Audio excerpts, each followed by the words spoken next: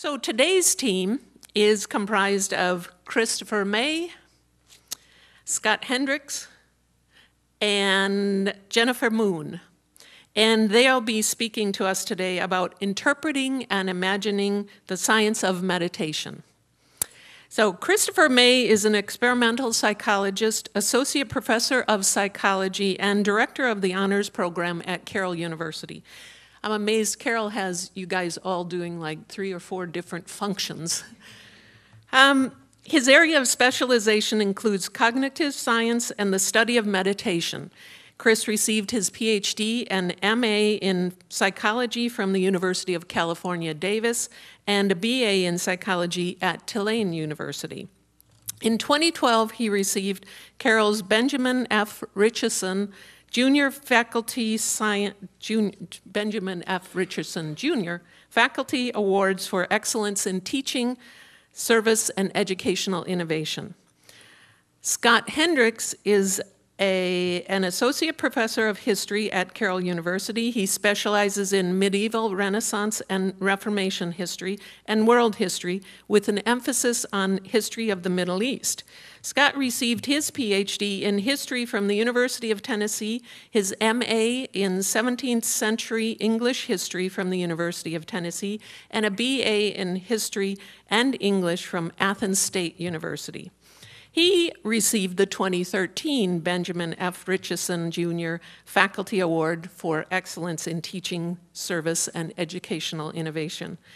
And Jennifer Moon is a professor of photography and digital media, media, at Carroll University.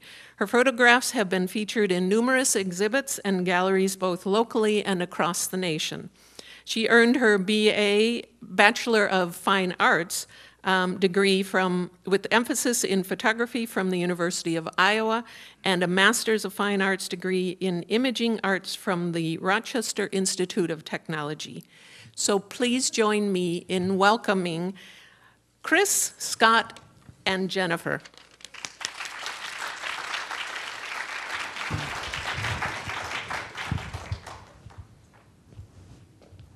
Howdy, how y'all doing? Thanks for coming out. Um, if you get us confused, just remember that I'm the good looking one. All right, so you being from Wisconsin, it's probably not going to surprise you that many good things start with beer. Um, this fellow here is a guy by the name of Bernard Clairvaux. He's a 12th century monk, tremendously influential in European history. In class, a number of times I've told a story about him, and the real short version is that he had an eye infection. It was bothering him a lot. He goes into a church He's praying to an icon of the Virgin Mary, so a statue of the Virgin Mary. And he's asking for her help to, to recover from this eye infection. And suddenly she looks at him and she's holding the infant Jesus in her hand and she takes the infant Jesus away from her breast and just sprays him in the face with breast milk. I mean, it's like, you know, a super soaker. Um, he swallows some, he gets it in his eye, and he's miraculously healed. My students would always ask, was this guy crazy? No, he wasn't crazy. He was very smart, he was very influential, great writer. Um, but in answering the questions, I started doing more and more digging into uh, mysticism. Mysticism is when uh, people are believed to have direct contact with the divine or a higher plane of existence. And I found that some of the areas of research seemed to me to be lacking. Uh, in particular, the area of uh, understanding the, the role of prayer. Um, when Bernard would pray, he would pray in a very focused manner for sometimes hours at a time. And as I was reading the process that he would follow with prayer, I was thinking, well, this sounds a lot more like meditation. So one night, I'm having a beer, and I had this kind of idea that it might it sounded like meditation. And all of a sudden, I looked at Chris and I said, hey, you're a neuroscientist. And he said, um, yeah, yeah, I am. And I said, and you study meditation? And he said, yes, I do. So I told him about what I was thinking with uh, Bernard. Um, he was intrigued. We started doing some work together. Next thing you know, well, a few years on down the road, we've got a couple of book chapters, a published paper, um, and a book uh, where we're studying meditation together and mysticism. So that's kind of where this went, and uh, that's how that our co- collaboration began, and that's the reason why you have a historian working together with a uh, psychologist slash neuroscientist. And he's going to talk about meditation now. Thank you, Scott. Good morning, everybody. So uh, today's talk is going to be a, just stay here for the video. Uh, today's talk is going to be kind of a high-level overview of a particular paper that was published just last year. Uh, both Scott and I are co-authors on this paper. So the paper, hopefully many of you saw it, it was outside on the, on the table. So we're going to give kind of a high-level overview, but if you feel like your Friday afternoon just won't be complete without diving into some regression equations, you have the opportunity to do that later with the paper. So meditation is very hot right now. Um, we've got a number of people here indicated they do meditate. Certainly you've heard of meditation. It's been in the popular press quite a bit. So on the screen you have a number of covers of different uh, popular news magazines, uh, really featuring meditation. Meditation itself is extremely old, so it's two to 3,000 years old. You find it in many, many different cultures, but it's becoming popular now because there's a science of meditation that's burgeoned, and it's particularly in the past 15 or 20 years or so that's really uh, taken root and now has begun to capture the popular imagination. So, meditation as a term is very much like the word sport. So, sport doesn't refer to a specific activity. There are many different types of sports, but it picks out a broad class of activities, namely some sort of physical exercise. Meditation is similar. There are many, many different types of meditation. I'll show you some of them. Uh, but what they have in common is that it's a kind of mental or emotional exercise. So there's many different types, but they have this sort of broad umbrella. And we can think of what meditation is doing uh, by looking at a quote from William James. William James is sometimes considered the father of, of American psychology. He's also a philosopher. So William James, in his very popular book, Principles of Psychology, in 1890, said, each of us literally chooses by his way of attending to things, what sort of a universe he shall appear to himself to inhabit. So, with meditation, you are doing things with your mind. Uh, you are choosing what to attend to, and the idea is you're cultivating habits of mind that will enable you to have greater well being. William James also said that an education which should improve this faculty of voluntarily bringing a wandering attention back over and over again would be education par excellence but it's easier to define this ideal than to give practical directions for bringing it about. So meditation wasn't something that had yet really uh, gotten a foothold in the West a little over 100 years ago. So William James was not familiar with the techniques, although he did have an interest in, in Buddhism a little bit. Uh, he wasn't familiar with the techniques that could do this, and so he didn't think that it was possible. He thought that you were essentially born with uh, high attentional ability and stability, or you were born with something closer to ADHD, so his genetic is innate. He didn't think it was something you could train. We now know that you can train your attention and also emotions, and there's a wide variety of practices. So this is a figure uh, called the Tree of Contemplative Practices, which just sort of organizes all different types of meditation. The particular paper that we're going to be talking about today looks at two different types of meditation. One type of meditation is called loving kindness meditation, where the focus is to generate feelings of love and kindness. Another type of meditation is sometimes called concentration meditation or focused attention meditation, where you are focusing on your breathing, and as your mind wanders, you simply bring it back. So, to give you a little bit of a, a taste of loving kindness meditation, I'm going to guide you through a, a, type of loving kindness meditation with uh, supplementation with a video that uh, Jen Moon has produced. So, I'm going to have Jen bring the video up, and then I'll walk you through a brief guided meditation, uh, loving kindness meditation.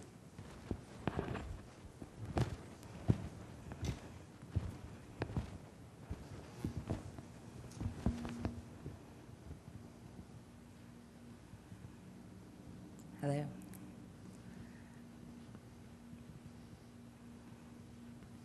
Okay, you can do it there for a sec. Okay, so if everybody could close your eyes, get away from Scott, so we don't have feedback. So you close your eyes. so we typically spend most of our time in our head. So we're thinking about things, whatever's happening right now. You're evaluating what's happening right now. You like it, you don't like it, you're intrigued, you're not sure what's going to happen. You're excited to do what I'm about to do right now, or you're apprehensive. You're having all kinds of thoughts. We live in our heads typically. Uh, let's take a moment to just get outside of our heads and uh, attend to your body. So just take note of your bodily sensations.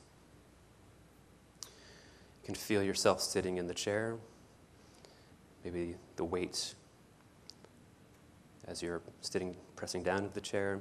You might feel your feet on the floor your arms on the armrest.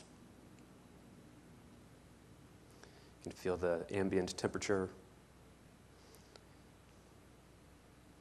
Then note if you have any sort of feelings, any particular emotions or moods, even if subtle, So just taking a moment to attend to general bodily feel.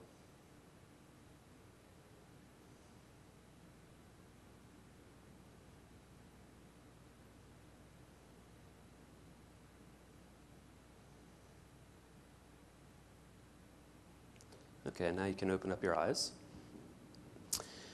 So, what Jen has put together is a sort of video sequence of a number of different images, and these are images that are meant to evoke just brief flashes of emotion, in particular positive emotion.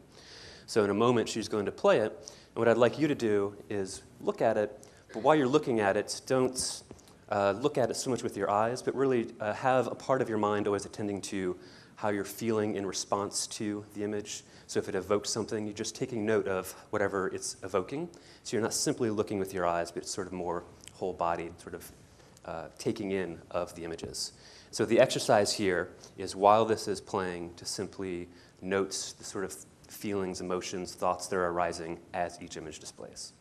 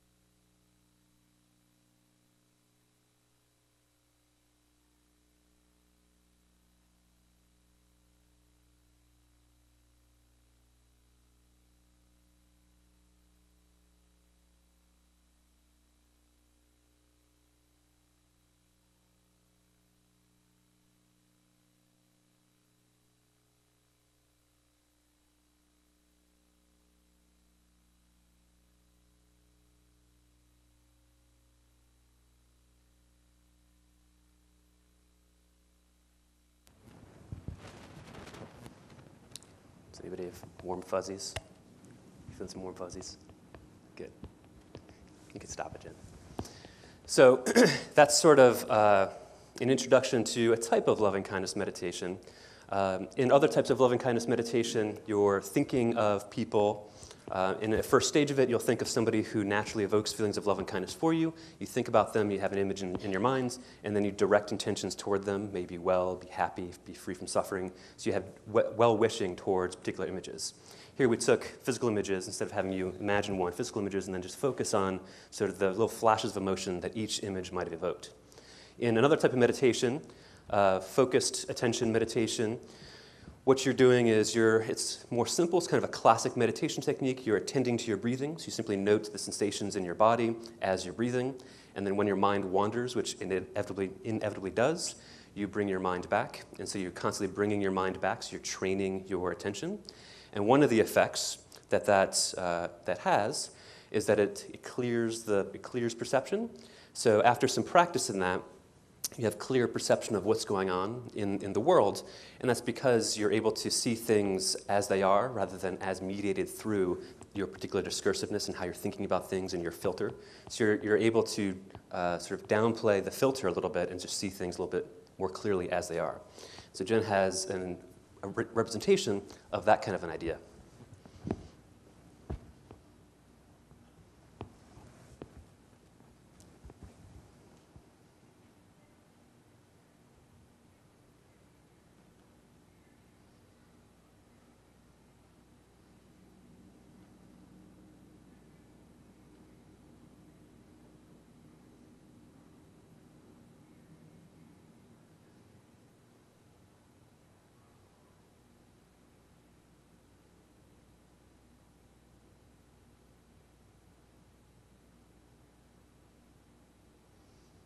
So, Jen, you want to say uh, how you made this or what we're looking at here? Sure. So, um, as the video progresses, and it's short, so I'm going to play it again. Um, so, my concept was to uh, merge two different perspectives of the same image. So, the idea that sort of a passing image that you may not look at or consider very closely um, after you know heightened awareness or you know having a haze removed by practicing concentration meditation um, uh, the same scene looks different or, or clearer. So um, at the beginning of the video, it's a subtle change, but it starts off um, filtered.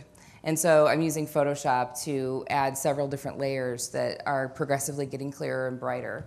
So it starts off dark and gets light, but also there's lots of um, subtle changes in the video also. And I have a second one actually also. So a sort of a, a second um, maybe even a little bit clearer.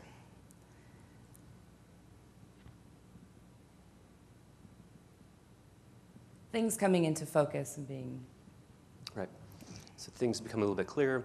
And what's interesting is, you know, in the practice of meditation, we're not aware of the, the sort of film, the cloud that's making the, our perception of the world a little bit uh, lack some clarity, some crispness. But then once you see that, you can see sort of in retrospect, ah, it's sort of cloudy, right? So you can only appreciate how cloudy it is if you're fully aware of a sunny day. So we tend not to be aware of it until you sort of remove these levels, layers of obscuration. And it's like, oh, this is much more vibrant and, and, clear now. So that's one of the effects of this other type of meditation, concentration meditation. I'll talk about more shortly in the paper.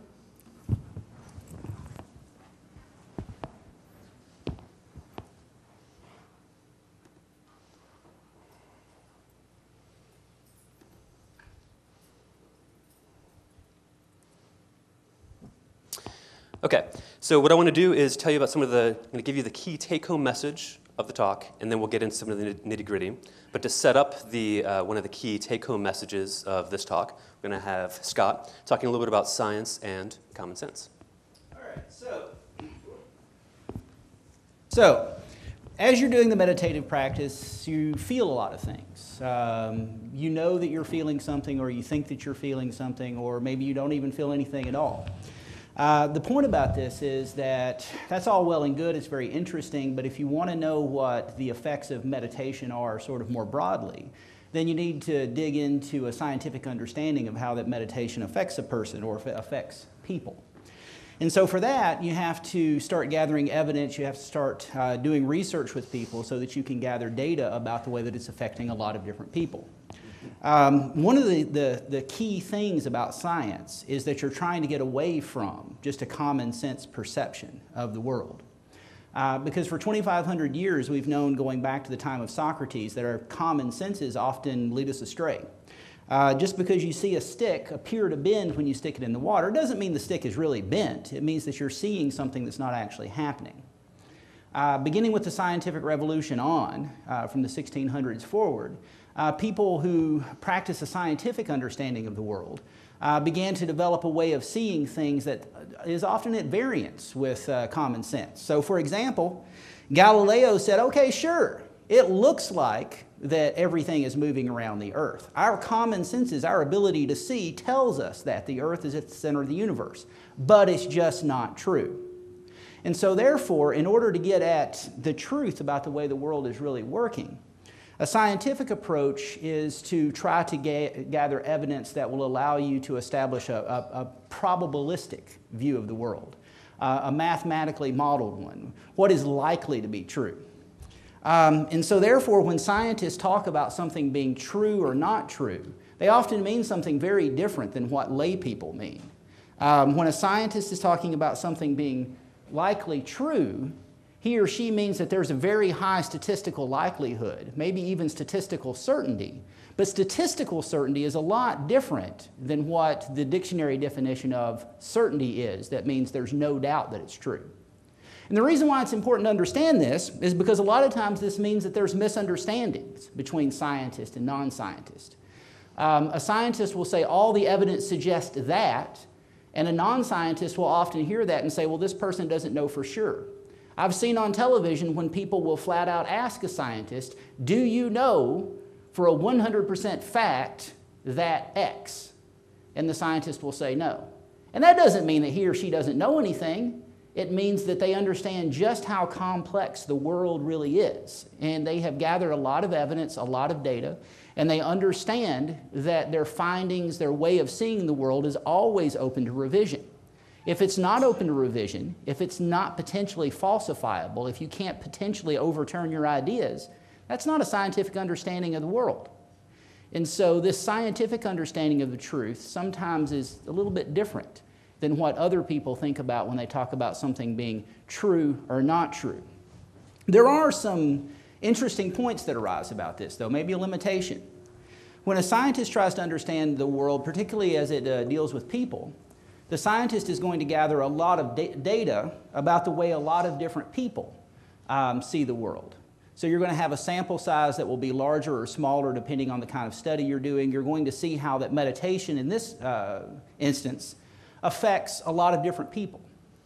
But what you wind up with then are averages. What you wind up with are averages of the way that a lot of different people are experiencing the meditative practices.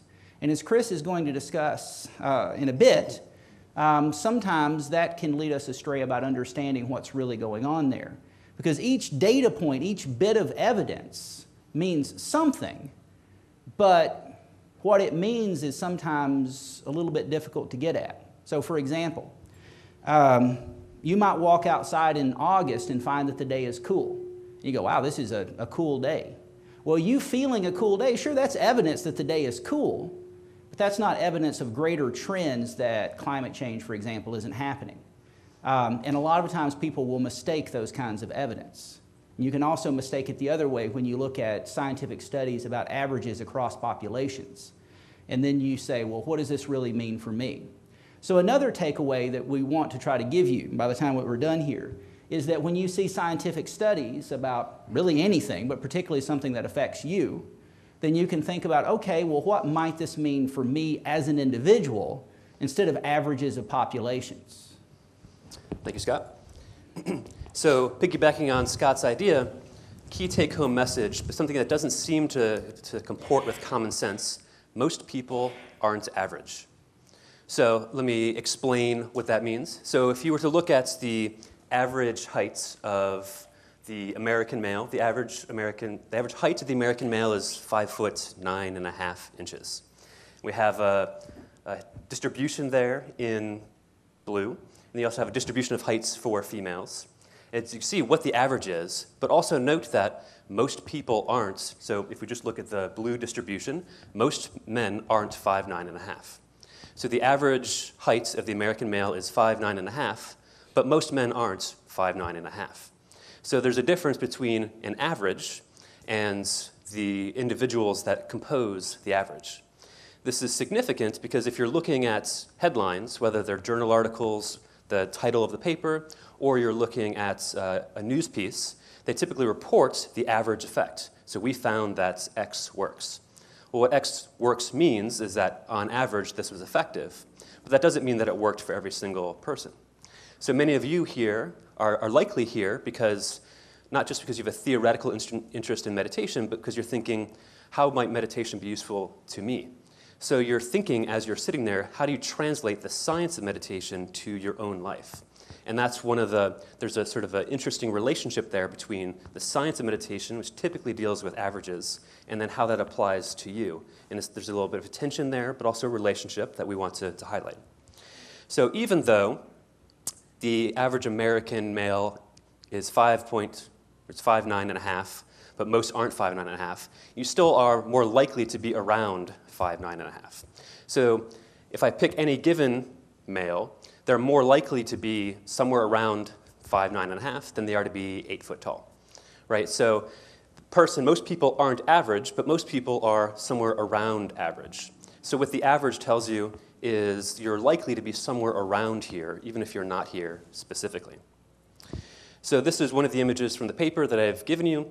And it shows the effects of two types of meditation concentration meditation and loving kindness meditation. Concentration meditation here, CM, that's going to be the basic breath focus. You're focusing on your breathing. As your mind wanders, you bring it back. Loving kindness meditation, LKM, here in the gray. So this is the more emotion focused one. Looking at people during three different phases.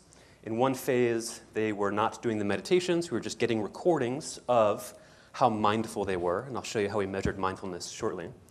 And then uh, during the meditation period, so for a few weeks, they were doing one of these two types of meditation, and then there's a withdrawal period where they ceased doing the meditation. And what you see is once they begin doing the meditation, in both conditions, regardless of which meditation they are doing, they have an increase in, mind, increase in mindfulness, so they're more aware of what's happening around them. And then when they stopped doing the meditation, they had a sort of plateau and then beginning to decrease in their levels of mindfulness. So these are what, what this is depicting is sort of what happens on average. As I'll show you momentarily, many people did not fit this particular picture, but nonetheless, on average, that's what occurred.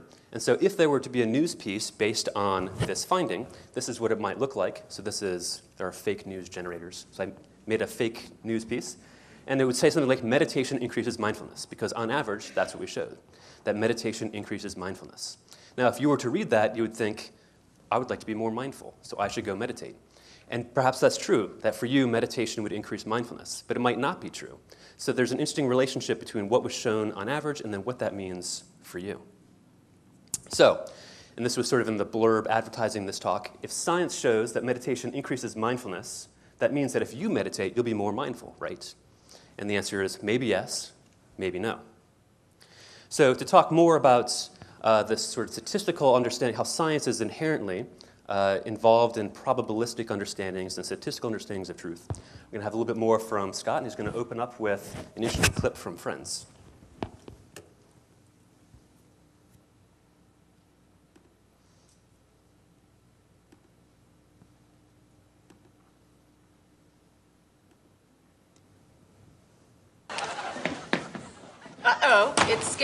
Scientist Man. Okay, Phoebe, this is it. In this briefcase, I carry actual scientific facts. A briefcase of facts, if you will. Some of these fossils are over 200 million years old. Okay, look, before you even start, I'm not denying evolution, okay? I'm just saying that it's one of the possibilities. It's the only possibility, Phoebe. Okay. Ross, could you just open your mind like this much? Okay? Now, wasn't there a time when the brightest minds in the world believed that the earth was flat? And up until like, what, 50 years ago, you all thought the atom was the smallest thing until you split it open and this like whole mess of crap came out. now, are you telling me that you are so unbelievably arrogant that you can't admit that there's a teeny tiny possibility that you could be wrong about this?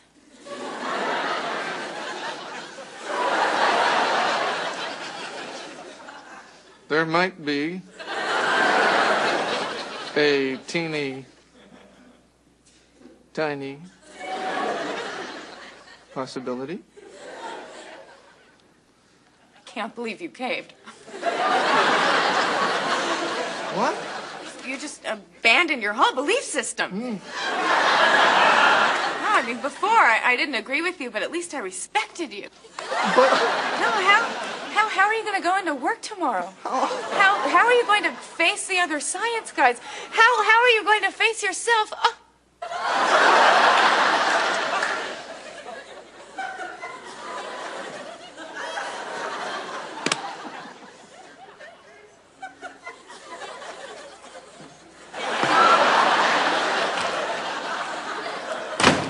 That was fun.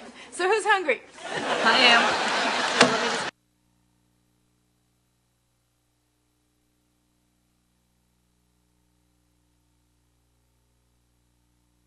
Off because I'm rattly and I make all kinds of noise and I'm sitting around. Um, I mentioned this specific bit to Chris uh, because I had remembered friends, and I'm hoping everybody here remembers friends. Sometimes I'll bring stuff up like this to my students, and they're like, What? What, what are you talking about? I think everybody here knows it.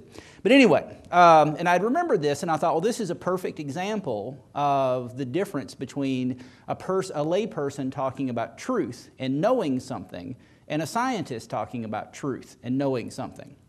Um, Phoebe's a layperson. She's not an idiot, but she has a different view of the world than Ross, the paleontologist.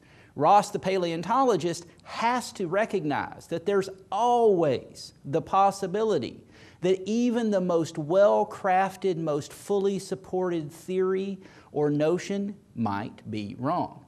It might only be one one thousandth of a percent chance, but if you don't have that possibility there, then you're not really doing science anymore. And so, as Chris in his work and, uh, gathers evidence, he's aware of the fact that some of that evidence may wind up overturning certain key ideas that he has as he moves along. Um, he has to be. If he's not, he's not doing science. But that, again, doesn't mean that scientists don't know anything. What it means is that science is revisory. It's always open to revision, it's always open to interpretation.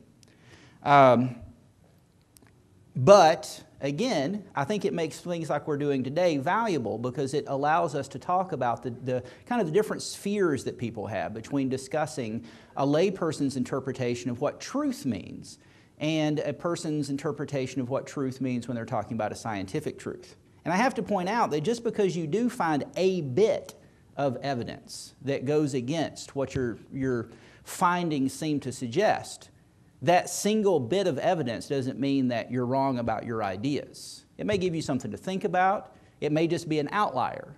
Um, but again, that's an, a difference in the way that people understand truth when they're talking about a layperson's understanding of truth versus a scientific understanding of truth. So when Chris comes across a bit of evidence that seems to go against what his larger ideas are, it goes into the pile of evidence, but it doesn't necessarily make him say, Oh my God, my entire worldview has been overturned. I just can't go to work tomorrow. All right. And once. okay, so now let, give you, let me give you a little bit more detail about the particular study that, again, if you want to look at the regression equations later, you can do. So, in that particular study, we looked at 30 participants, and these participants were divided into two different conditions. So I had half of them do a practice loving kindness meditation, and I had half of them practice concentration meditation. And the idea was these are two very different types of meditation that have different goals and different methods. One, the loving kindness meditation, is more emotion focused. The other, uh, the concentration or the focused attention meditation, sometimes it's called, is more cognitive focused. So they have different foci. And I was curious if they have, because they have these different foci, do they have uh, similar effects or completely different effects? What is the relationship in terms of the effects that these two different types of meditation have? So it took 30 participants, divided them into these two different groups. So for this particular study, our independent variable, the thing that we're manipulating, is which condition the participants were in. So whether they were assigned to the loving kindness meditation condition or whether they're in the concentration meditation condition.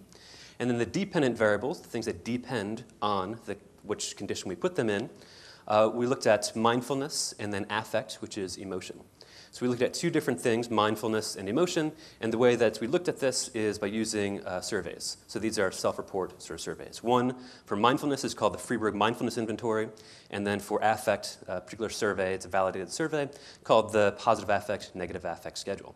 So just to give you an idea of what these surveys look like, what kind of questions that people were uh, answering, for the mindfulness inventory, they're asked questions such as I'm open to the experience at the present moment, and they have to rate how often is this true for you. And you can change the time scale of this. So, is this true for you generally? Or in the past couple of days, how, how much was this true for you? So, rarely, occasionally, fairly often, almost always. Uh, things like I sense my body, whether eating, cooking, cleaning, or talking. When I notice an absence of mind, I gently return to the experience of the here and now. So, various questions about how aware are you of the present moment versus um, how often are you sort of lost in the clouds in your head, daydreaming, thinking about other kinds of things? And then the positive affect, negative affect schedule has 20 terms, emotional terms. 10 of them are positive emotion terms, things like excitement and uh, interest and uh, feeling enthusiastic. And then 10 of them are negative affect or negative emotion terms. So if you're feeling afraid or jittery or nervous. And then you have to rate how often, let's say in the past couple of days, have you felt this particular emotion. And then you take the 10 positive emotion terms and you average them together to get an average, get an average score for how much positive emotion they were feeling. And you take the 10 negative emotion words and you do the same thing, you average them together. So that's the independent variable. You've got the two meditation conditions, and then two dependent variables, which are the mindfulness inventory and the affect. The particular experimental design that was used in this study is something that's called an ABA multiple baseline single subject design with multiple subjects. So I'll step through a few of these things for you, but again, the, the juicy details, the dry details, are in the paper. So ABA uh, refers A B and the A are three different conditions. And so you've already seen this when I showed you the slide of the effects of meditation. There was the baseline condition where the subjects were not meditating. There's the meditation uh, phase where they were meditating, and then the withdrawal where they stopped meditating. So the A refers to not doing the meditation. B is you're doing the meditation. A is you're not doing the meditation again. So there are very different, there are different types of designs. I could have done A, B, A, B, A, B, A, B, A, B meditate, you stop, you meditate, you stop, meditate, you stop. This is a fairly straightforward one. So you're not meditating, then you are, and then you stop. Multiple baseline means that the participants, they did not all start the study at the, at the same time. Or I should say, they did not start meditating at the same time. So some people uh, filled out these baseline mindfulness and affect surveys for a few weeks, some people for maybe just one week. And the reason for these different time scales is that decreases the likelihood that the effect's going to be driven by whatever's happening at that point in time. So if it's midterm time, students are going to tend to report uniformly, and these are students who are the participants in this study. So to sort of try to eliminate confounds such as things happening at particular times, such as exams, you stagger when people are filling out these surveys, so you decrease the likelihood that that's going to be a causal agent in what we're seeing here. And then a single subject design, this is a type of experimental design where you can do it with just one person. And it is an experiment because you have the subject essentially serving as their own control. So they're not meditating, then they are, and then they're not again. So you can see how their meditation, their scores when they're meditating change relative to when they are not meditating. So they serve as their own controls. Uh, the reason that we used a single subject design is we used 30 participants, which I happened to know from some other research that I've done is not as high of a sample size as you would like. And so that decreases the likelihood you're going to see group effects. But if you have a single subject design, that means that you can look at a single individual and still tell if the experiment, the meditation, worked, regardless of your, your sample size. And then because I had multiple people, why not just do this with multiple people? And then you can apply a certain type of analysis. It's called hierarchical linear modeling, where you simply model each person's time series individually, but in a single model. So you can see, on average, uh, how are people affected when they're meditated and then when they stopped meditating. So to get those kind of curves that I've already shown you. So there are these three phases, uh, not meditating, meditating, not meditating. The baseline period is one to four weeks. So some people it was one week, some people it was four weeks, depending on when I had them start meditating. For the meditation training, everybody did it for five weeks. So for five weeks, I asked them to meditate four times a week, 15 minutes each time, and they did it at home. I'd given them some training beforehand. And then there's a cessation period where they stopped meditating or withdrawal period. Uh, had them stop meditating and then continued to collect the same sort of data. And then these two uh, surveys, these data were administered every three days. So I'd ask them over the past couple of days, how mindful have you been and uh, how much positive and negative affect have you felt? So, looking at the results from the HLM models, where you can get an average idea of how people responded, this is looking at affect, which is emotion, so CM here stands for the concentration meditation, the breath focus. LKM, again, is loving kindness meditation, the more emotion focused one. PA is positive affect, positive emotion. NA is negative affect or negative emotion. So down here, these all refer to the negative emotion. And for the most part, the meditations did not have a significant effect on negative affect in this particular study. What we saw more was a significant effect on positive affect, positive emotions. So uh, the subjects felt more excited, more interested, more vigorous in doing the meditation than when they were not doing the meditation. So you have an increase for both the concentration and the loving kindness meditation and positive affect, but this is uh, particularly so for the loving kindness meditation, which makes much, uh, some sense because it is explicitly an emotion focused meditation where you're trying to focus on and cultivate positive feelings, like when you were focusing on the images from Jen's slideshow. So you have higher levels of positive affect for the loving kindness meditation, but you still do see an increase with the concentration meditation. And then during the withdrawal period, when I ask the participants to stop meditating, you do see a decrease in both of these, although a much sharper decline for the concentration meditation. Uh, so this leads to a hypothesis that I'm going to be looking at later, which is that uh, loving kindness meditation might not, might, uh, might not only lead to higher levels of positive emotion, but also something that's sustained even when you stop doing the practice, at least for a period of time. So this is analogous to exercise. You know, if you exercise for a period of time, you'll increase in fitness. When you stop exercising, you're going to have a decline, but the decline isn't immediate. You don't go to your pre-workout levels with one day of not exercising. There's going to be a certain rate of decline, but that rate of decline might differ for loving kindness meditation and for concentration meditation. So this is suggestive of that. That's something to be explored a bit further. And then this is the image that I showed you previously, looking at mindfulness. So how aware are you of what's happening in your environment? Uh, showing here that both concentration meditation and love and kindness meditation made people more aware of their environments. And this is sort of interesting because loving kindness meditation isn't really focused on the environments. You're thinking about people, you're thinking about emotions, trying to cultivate emotions.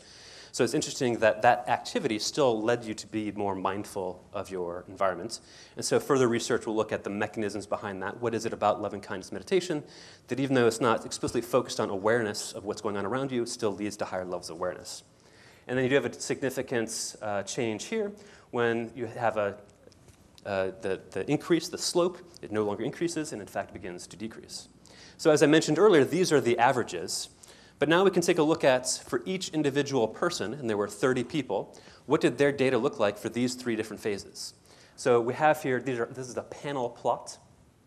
So each of these squares here contains one person and their data for the entire study. And you've got uh, circles indicating the baseline when they're not meditating, triangles indicating when they were meditating, and then these crosses when they stopped meditating again. And then I've superimposed on this a sort of trend so you can see how things tended to, tended to progress. And then the first half of these, so up to through like 15 are the concentration meditators, 16 through 30 are the loving kindness meditators. So if you look at this, just eyeballing it, you can see there's tremendous variability. So there are some people who uh, changed in accordance with the average that we saw. So, for example, here we have somebody who appeared to increase in their, and this is mindfulness that we're looking at, increase in mindfulness as they're meditating. And then when they stopped meditating, they had a decrease here and sort of an asymptote. Here we see it even more clearly. So you have a certain baseline level of mindfulness, increases while meditating, and then when they stopped meditating, it went down. But there's many other different trends and patterns here as well. You have some people who appeared to not benefit at all. So they just had a flat line. They had no observable change as a result of doing the meditation. And you have other types of patterns like this one, where this person had a benefit and then it just maintained. There was no decrease after they ceased meditation. So there are many people who do not, in fact, the majority of the people here do not fit the mold of the average. So you have an average, the average male is five nine and a half, but most people aren't five nine and a half meditation on average is effective, but most people don't follow the curve that you have from the, uh, from the averages. So it's interesting looking at this distinction between what's happening with the individual and then what's happening at the level of the average. So for a little bit more of this distinction between individuals and averages, we've got one more uh, visual illustration of that from Jen Moon.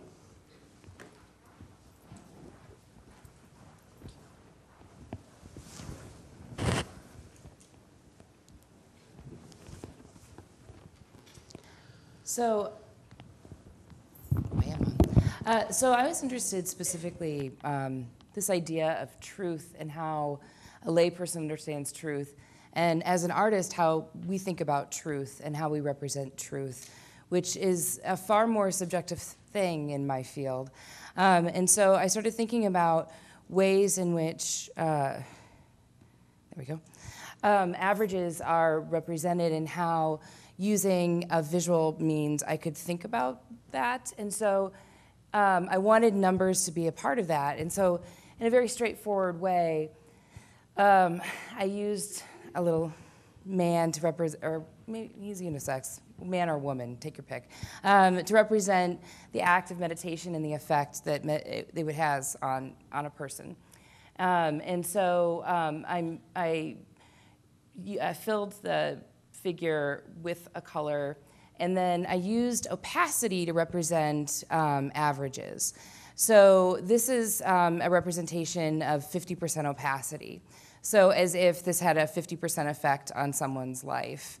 And the averages, so actually here.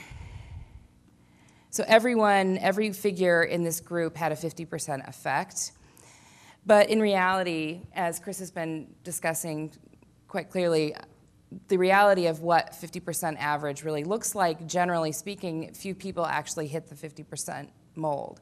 Um, and so all of these are the same color, they're the same effect. So I was sort of translating the effect of meditation to a color, which is this lovely shade of lavender. Um, and so a few people are going to have the maximum benefit, and a few people are going to have no benefit. Um, and I think that that's the part that is so sort of important um, when speaking about truth in terms of science and how we understand it as a layperson. So, so I'm sort of representing the everyman, I think.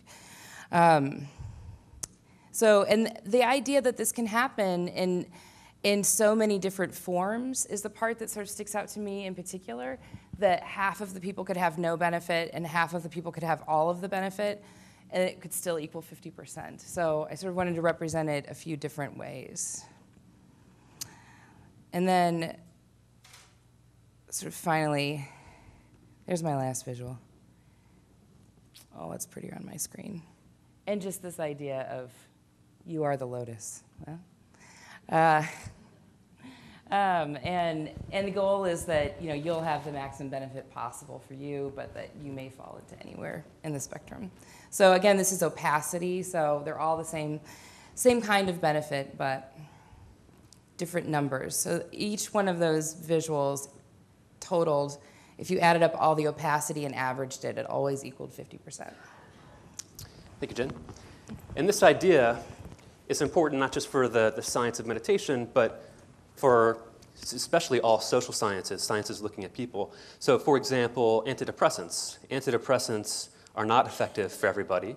They, in fact, they're on average, they're effective for 50% of people. So 50% of people, on average, will take an antidepressant and then feel some sort of benefit. Half don't, and so they need some other type of, of therapy. But antidepressants are effective on average, but that doesn't mean it's going to be effective for you.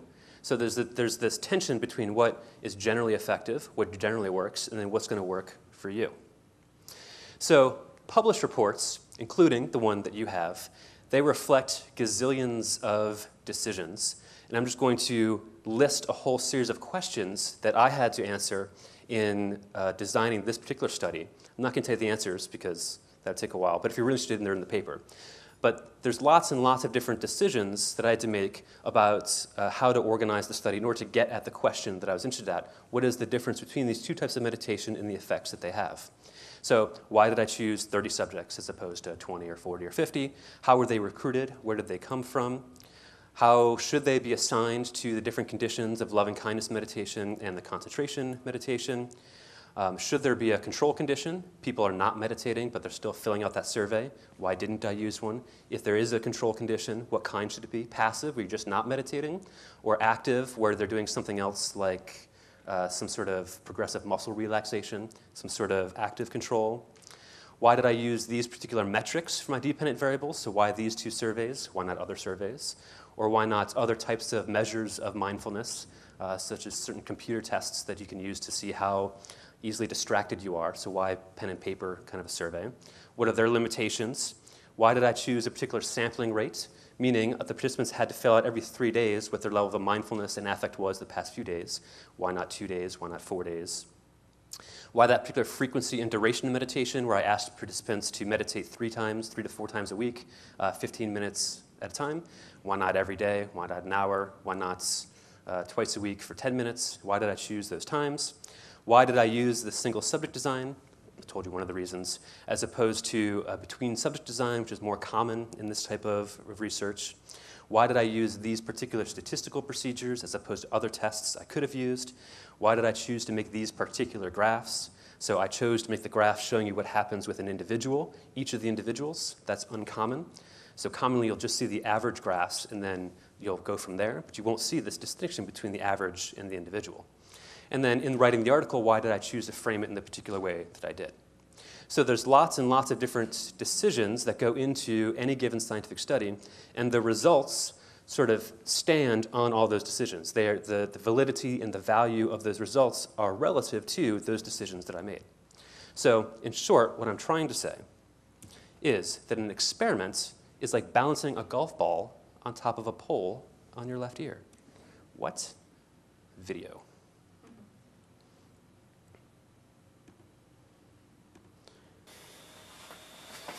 A golf ball off my left ear. This will be the first time I've made a record on my left ear, or I attempted a record.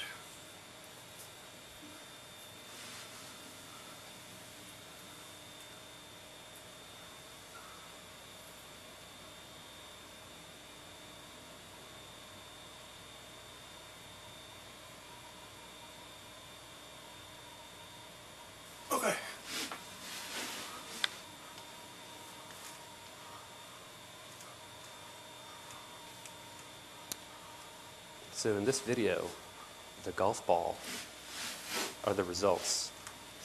And the results depend on things supporting the results, which are potentially unreliable, potentially fallible. So there's a, there's a tentativity to this, which is why any given scientific field depends on the accumulation of many different studies, because each particular one has this sort of uh,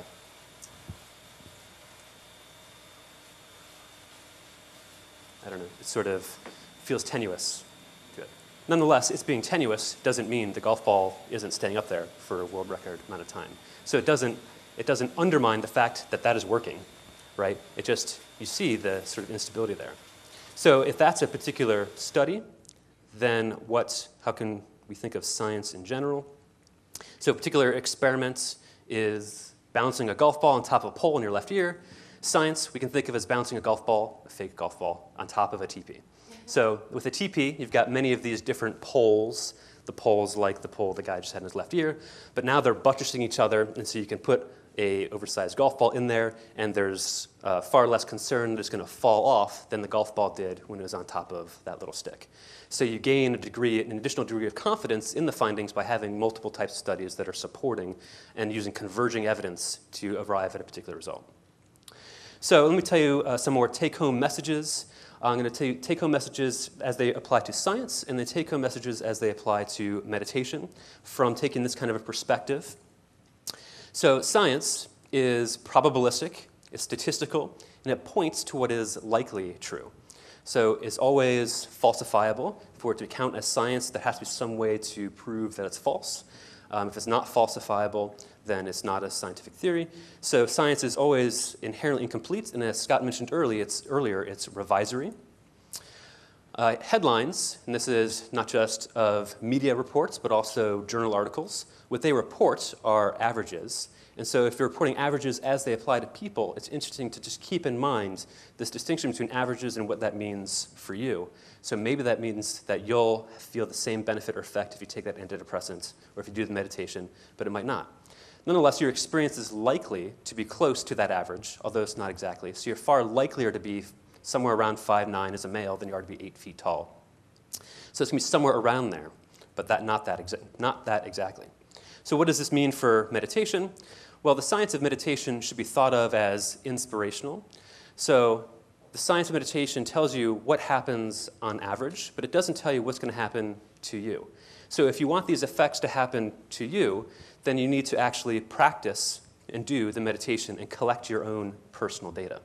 So it gives you some degree of confidence that these effects will likely occur, but doesn't say they will occur. You need to actually do the practice in order to find if these effects do occur. So, to put this in another way, um, the science of meditation can yield faith that meditation might be helpful to you. And of course, I very deliberately here putting science and faith in the same sentence with sort of an and between them as opposed to a but, because that's not something you see very often. So, if you're thinking, how do I uh, put this into practice myself? How do I get some guidance and try the meditation to see if it increases my mindfulness and increases my positive affect? Um, I recommend this particular website, the first bullet point there. So, the UCLA Mindful Awareness Research Center, they have a number of guided meditations, loving kindness meditations, concentration meditations, and other types that you'll see. So, you can practice those and just see what sort of effect it has on you. Uh, you're also welcome to contact any of us. You have our email addresses there if you'd like some follow up information. Then I have a website which contains uh, this article, which you already have, but a number of other articles as well, so you could read more about the science of meditation. That's it.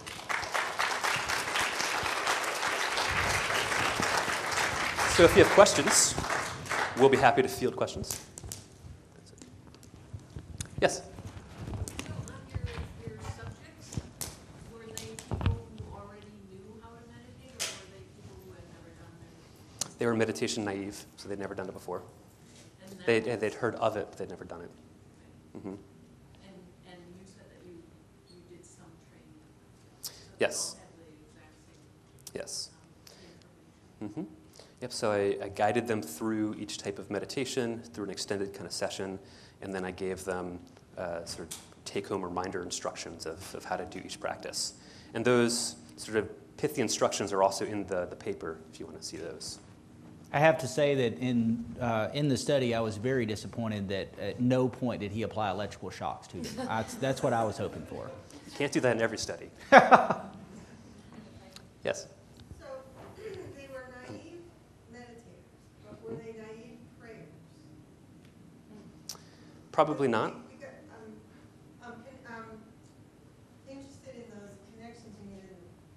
Yep. Um, They probably weren't, uh, like uh, Chris said, but uh, one thing to keep in mind is that the way that most people pray is, please God, don't let me pull, don't let that cop pull me over. Uh, please God, let me pass this exam. Um, that is not similar to the meditative practices that he was examining. Um, however, a lot of people in a lot of religious traditions do follow prayer practices that uh, I think have to be thought of as meditative. Um, for example, there is a, uh, a field called neurotheology where um, uh, people have done fMRI, uh, functional magnetic resonance imaging, of people who are both Buddhist meditators and they're ex- very experienced, as well as, uh, in this case, it was Franciscan nuns, um, and there were some other monks. And they went through prayer practices that had the similar effects, at least the F- fMRI suggested that it had similar effects um, as the other experienced meditators. Um, so it's possible that you're going to encounter a student who does, for example, a Catholic practice that has similarities to meditation. Um, but I'm not sure that it's likely. Um, possible, though. So there, there are, of course, different types of prayers, there are different types of meditation. If you're doing an intercessory prayer, you're simply uh, sort of praying on behalf of somebody, that's going to be different than if you're doing something um, such as a kind of prayer called centering prayer in the, in the Christian contemplative con- tradition. So in centering prayer, you're trying to really quiet yourself. So you're trying to settle the mind. And the idea behind that is you can only hear the voice of God. You can only hear the sort of you know, the voice of God if you're quiet. So you have to sort of calm down the noise. So that kind of practice is very similar to the concentration meditation practice. So there are certain types of prayer that are analogous to certain types of, of meditation. Um, those types of prayer you, you often find in contemplative traditions. You'll find them among, among monks and nuns, um, but you don't, you don't find them amongst students who are Christian. They tend not to practice those kinds of, of prayer.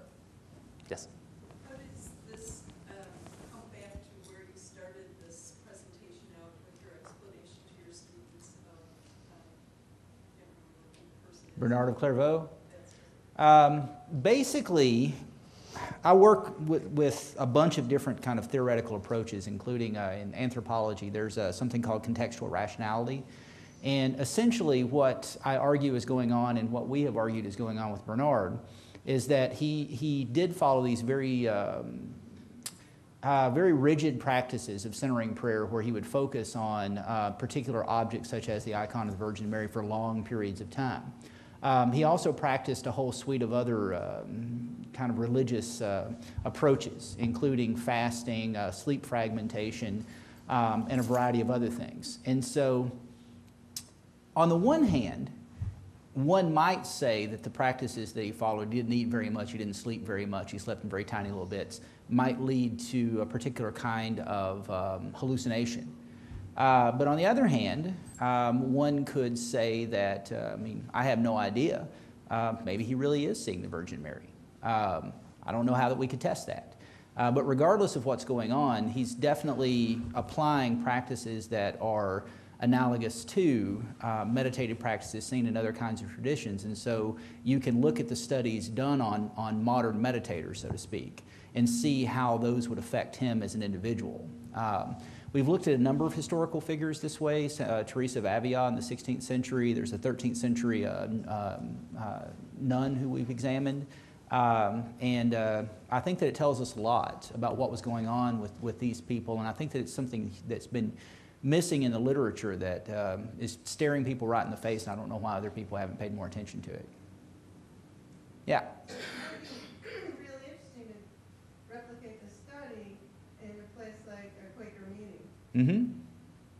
community, Sure.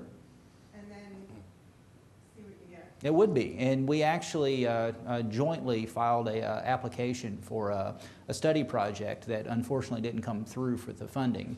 Uh, that one of the things that we were hoping to do was to uh, uh, examine uh, these approaches in a lot of different modern religious uh, uh, communities, and I don't know, maybe we'll get to do it again in the future.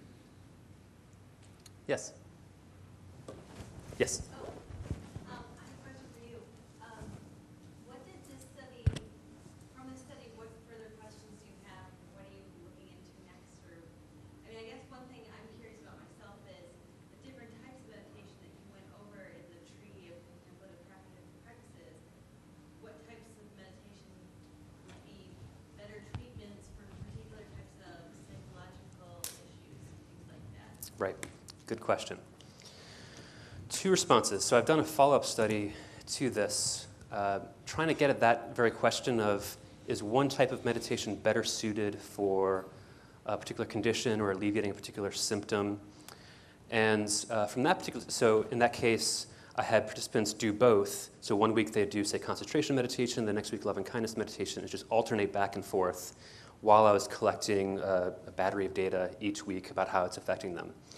And what was interesting that came out of that was that some people would benefit from both types of meditation, but in different, in different ways. And if you looked at another person, they also benefit, benefited from both, but not in the same ways that that first person did.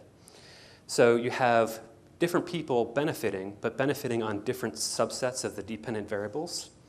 And then you also had some people that only benefited from one and some people that only benefited from the other. So if taking all of that together, um, I think, and in fact this is supported by some of the contemplative traditions such as uh, Buddhism, that you really don't choose this or that. If you're really getting into the practice, you have some mix of the two. So you're having something like your breath focus, and then occasionally do something like the love and kindness meditation. And so that study seems to support that kind of an idea. that You have both, because people respond differently. And the other thing I'm interested in is just these tremendous individual differences. So, why people are responding so differently, why some people don't seem to respond at all, at least in this study, to the meditation, whereas others did and did so rapidly. So, it could be the case, for example, that uh, the people who didn't respond, if they kept meditating, they would simply never respond. Or it could be the case that they were simply s- slow to take hold, and the, the duration of the study was not long enough to see that. So there's all kinds of explanations, uh, potential explanations for why it is that we're seeing these differences that could be related to some of those questions that I made decisions on. Right? So I'm interested in follow-up work, trying to examine more individual differences and the different arcs of change that you see for different people and what might be driving that. And so what that requires is more longitudinal studies where you examine people over long periods of time with a fairly high sampling rate. So you can actually, for each person, trace out trajectories and determine a little bit more conclusively if it's having an effect for some people and not for other people. And then if so, are there moderating variables as to why it is for this person and not for this person? There's a little bit of research that was done on this, but very little. So, for example, people who tend to brood seem to uh, do better with the love and kindness meditation as opposed to the concentration meditation. Because if you're, if you're brooding, the love and kindness meditation is something that sort of takes you outside of that. Whereas if you're, if you're doing the breath focus, you know, that's not orthogonal to brooding, so you might still have brooding going on. So there are these kinds of things that are just beginning to be studied. Yes? It appeared in your study that uh, loving kindness make uh, meditators start at a higher point on the positivity graph, I would consider it as opposed to the other. When you did your subsequent study and they altered what they were doing, did the individuals always start higher with the loving kindness than they did the concentration one? Uh, no, they didn't. So that was unique to this particular sample. So even if we're looking at, say, positive affects, positive emotions, in this follow-up study that I did, some people, so if they did concentration meditation, they'd have a certain level of positive affect, and then if they switched to loving kindness meditation, they'd increase. And then when they went back to the concentration, they decreased. And they went, so you go like this. But other people had that same sort of uh, uh, sawtooth pattern, but flipped. So high levels of positive affect with concentration meditation that dipped when they did the loving kindness and then went sort of like this.